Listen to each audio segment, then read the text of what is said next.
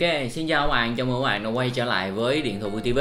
Và ngày hôm nay thì ở trên tay của mình, bên tay trái là một chiếc AirPods 2 và bên tay phải là một chiếc AirPods 3 Và video ngày hôm nay thì mình sẽ cùng với các bạn sẽ so sánh cái chiếc AirPods 2 với cái chiếc AirPods 3 này Để coi thử xem là liệu rằng à, chúng ta sẽ nên tiếp tục với cái dòng tai nghe đã khoảng 3 năm tuổi này hay là chúng ta sẽ lên đời một cái chiếc tai nghe mới uh, nhiều tính năng hơn uh, nghe hay hơn rồi là giá cũng đắt hơn nữa thì trong video ngày hôm nay chúng ta sẽ cùng tìm hiểu tất cả những cái chi tiết này nhé và ok bây giờ chúng ta sẽ cùng bắt đầu.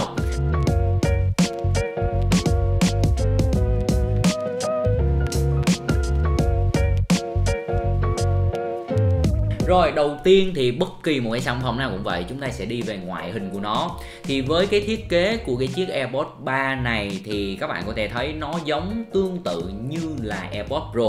Với cái kiểu thiết kế uh, hình oval chữ nhật. Nó hơi cong cong như thế này. Tuy nhiên á thì uh, cái phần vỏ bên ngoài mình phát hiện ra một điều. Nếu như các bạn dựng đứng cái chiếc AirPods 3 này lại Thì nó vừa đúng bằng với cái chiếc AirPods 2 mà mình đang đề với các bạn. Có chăng á thì cái bề dày của nó thì nó sẽ dày hơn một tí xíu thôi so với cái chiếc AirPods 2 còn lại thì nếu như các bạn để dọc nó lại là nó thành một cái chiếc AirPods 2 thôi. Và mình chưa bao giờ thấy làm designer cho Apple dễ đến thế này. Và thực sự nó dễ còn tới mức đó, đó chính là cái phần tai nghe ở phía bên trong của chúng ta. Uh, Apple họ đã tiết kiệm và họ đã sử dụng lại cái thiết kế cũ của cái chiếc AirPods Pro. Và nhờ cái thiết kế này cho nên Apple họ chỉ việc làm một cái công đoạn thôi đó chính là bỏ đi cái phần núm tay thì xong tất cả mọi chuyện sẽ được hoàn thành và chúng ta sẽ có một cái chiếc AirPods 3 nó cao cấp hơn AirPods 2 nhưng mà nó lại thấp cấp hơn AirPods Pro và trung hòa hai cái thiết kế này lại với nhau. Rồi và về cái phần uh, tai nghe thì mình cũng sẽ so sánh với bạn một tí uh, so với cái chiếc tai nghe AirPods 2 của mình. Mình đã dùng khoảng thời gian cũng khá là lâu rồi đó, thì ở đây chúng ta sẽ có hai cái tai nghe các bạn có thể thấy hoàn toàn khác biệt nhau về cái phần kích thước tai cũng như là thiết kế. Đầu tiên, đó chính là cái phần mà có thể phần sườn của cái tai nghe này có thể chứa pin đó. Thì với cái chiếc AirPods 3 của chúng ta thì Apple họ sẽ tăng cái thích, kích thước của cái phần sườn này lên để có thể chứa được một cái viên pin lớn hơn với một cái kích thước nhỏ hơn. Và tiếp tục á, cái phần ốc tai này thì nó cũng sẽ được Apple họ thiết kế lại. Và như mình đã nói thôi nó sẽ giống y chang với AirPods Pro và không có cái núm rồi và chính vì cái thiết kế này, cho nên khi mà các bạn đeo cái tai nghe AirPods 2 và AirPods 3 vào, nó sẽ cho các bạn cái sự tương đồng về cái cảm giác đeo, chứ nó không có bị cứng cứng và nó không có bị cấn như là AirPods Pro. Đó là lý do đầu tiên mà mình nghĩ nếu như mà cái chiếc AirPods 2 của mình nó bị hỏng á, thì mình sẽ mua AirPods 3 chứ không phải là AirPods Pro. Và những cái điểm nâng cấp tiếp theo mà mình có thể chia sẻ với các bạn thì các bạn có thể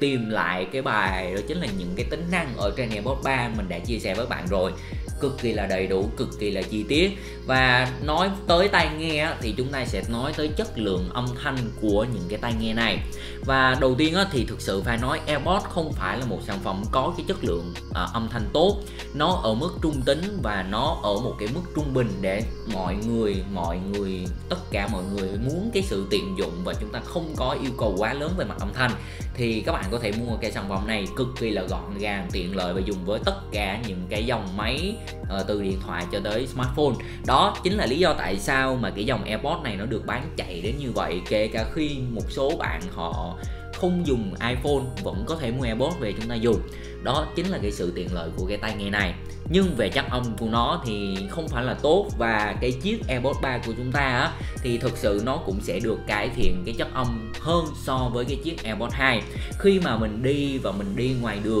và ở những cái nơi có môi trường âm thanh nó tương đối là phức tạp. Thì à, mình vẫn có thể nghe tốt những cái âm thanh từ âm bass cho tới những cái âm thanh bè của một cái bài nhạc ở trong cái chiếc tai nghe AirPods 3 này của chúng ta. Nhờ một cái tính năng đó chính là khi mà các bạn đeo cái tai nghe này vào và cái AirPods 3 của chúng ta nó sẽ coi thử là ở trong cái phần ốc tai của bạn, cái phần nào mà cái tai nghe nó chưa tiếp xúc được thì nó sẽ đẩy âm thanh tới cái phần đó để lấp kín được cái phần tai của bạn mà chúng ta không cần phải nhét một cái núm vào. Chính vì vậy, Apple họ có thể khắc phục được một cái trường hợp, đó chính là không cần thêm cái chống ồn chủ động vào thì cái tai nghe AirPods 3 này nó cũng nghe tương đối là êm và sẽ không có bị tập âm quá nhiều. Đương nhiên là nó sẽ không thể nào mà triệt hết cái tập âm của chúng ta như là cái chiếc AirPods Pro có chống ồn chủ động. Và nó cũng sẽ được cải thiện hơn khi mà mình chạy xe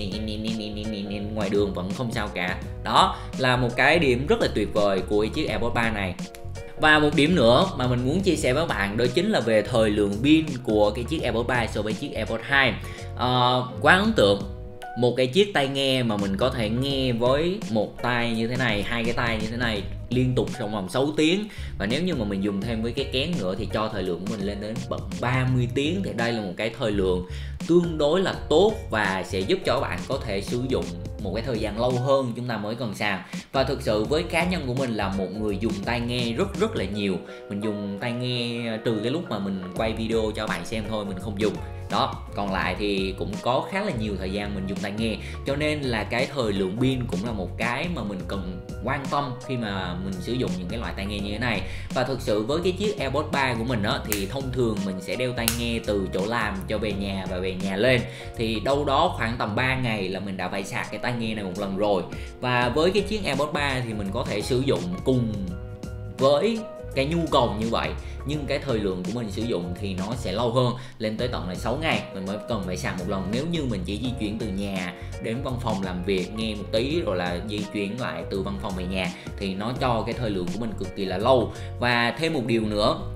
là với cái chiếc tai nghe AirPods 2 này đôi lúc khi mà mình vừa về nhà và mình hết pin và mình chỉ cần tắm rửa trong khoảng đâu đó và vệ sinh cá nhân thôi và mình sạc lại á, thì nó vẫn chưa có đủ năng lượng để mà mình có thể dùng trong một cái buổi tối đó. Tuy nhiên, với cái chiếc AirPods 3 thì nó lại cho mình một cái trải nghiệm về pin hoàn toàn khác. Khi mà mình chỉ cần cắm đâu đó khoảng 5 cho đến 10 phút thôi, mình làm vệ sinh cá nhân một tí xong là mình đã có thể sử dụng tiếp cái tiết tai nghe AirPods 3 này rồi. Và mình sẽ đi bất kỳ đâu và mình có thể nghe bất kỳ lúc nào mà mình muốn lên văn phòng rồi mình lại sạc tiếp thôi. Đó chính là về thời lượng pin cực kỳ là tốt so với AirPods 2 và có thể nói với cái chiếc AirPods 2 này thì đương nhiên pin nó sẽ yếu hơn một tí nữa, tại vì mình đã dùng khoảng gần 3 năm rồi và bắt đầu ở cái thời điểm hiện tại á, thì nó cũng đã bị gọi là bị chai pin rồi, bị chai pin từ từ rồi. Cho nên nó sẽ không thể nào cho mình cái thời lượng mà tốt như thế này nữa.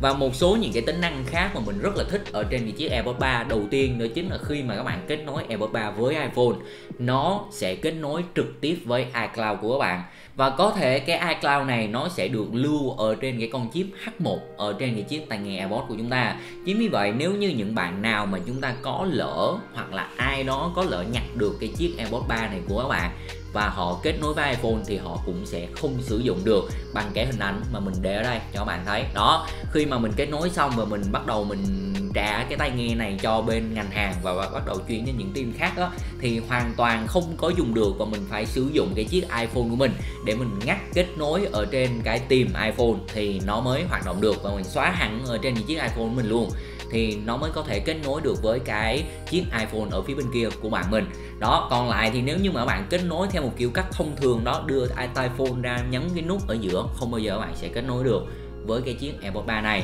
Và ngoài ra thì với cái chiếc AirPods 3 thì chúng ta hiện tại đang có cái mức giá, mình thấy đâu đó ở khoảng 5 triệu đồng ở ngay tại chuỗi cửa hàng của Sevonet đang cho nhận tiền trước về chiếc AirPods 3 này.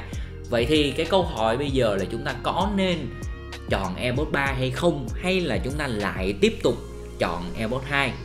Câu chuyện về AirPods Pro mình sẽ nói với các bạn sau. Chính vì vậy, ở video ngày hôm nay chúng ta sẽ chỉ nói về AirPods 2 và về AirPods 3 thôi à, với bản thân mình thì mình sẽ chọn cái chiếc AirPods 3 này. Thời lượng pin tốt hơn thiết kế ngon hơn tai nghe cũng tốt hơn nè. Rồi là cái chất lượng âm thanh cũng tốt hơn. Tất cả mọi thứ Apple họ làm đều tốt ở trên cái tai nghe này ngoài trừ mức giá. Và mặc dù nó không có chống ồn chủ động nhưng nó vẫn mang lại cho mình cái chất lượng âm thanh tương đối là tốt ở cái mức trung bình như mình nói. Là mọi người đều có thể nghe được mọi người đều có thể hài lòng với cái chất lượng âm thanh này. Và chúng ta đổi lại cái sự tiện lợi và sự gọn gàng của những cái chiếc AirPods thì các bạn có thể lựa chọn cái chiếc AirPods 3 và sẽ có một số bạn nói là ở tầm giá này á, chúng ta chọn AirPods Pro, nó sẽ ngon hơn AirPods 3 ok, nếu như mà các bạn có cái suy nghĩ như thế thì video tiếp theo mình sẽ tiến hành so sánh AirPods 3 với lại AirPods Pro để coi lý do tại sao mà Apple lại ra một cái sản phẩm AirPods 3